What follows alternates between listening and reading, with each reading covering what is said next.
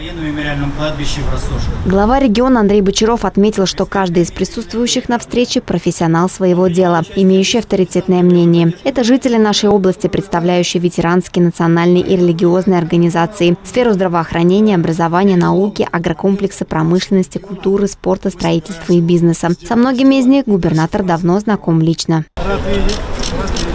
Ну и тогда эту тему связано с колокольчиком. Вы с Сергеем Михайловичем общаетесь? Все, он мне скоро командировку приехал,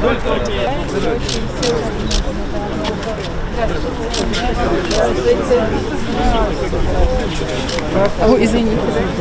Рад видеть, рад видеть вас на всех отношениях. Андрей Бочаров подчеркнул, что без помощи общественных деятелей и единомышленников было бы невозможно в столь короткие сроки осуществить многие задачи. Также на встрече с общественниками губернатор определил ряд задач и на перспективу. Среди них продолжение работ по благоустройству городских территорий, модернизация транспортной инфраструктуры и реабилитация Волги. Непростые задачи стоят и в части реализации программы сферы ЖКХ, культуры, образования, спорта, медицины и топливно-энергетическом комплексе, отметил глава Волгоградской области.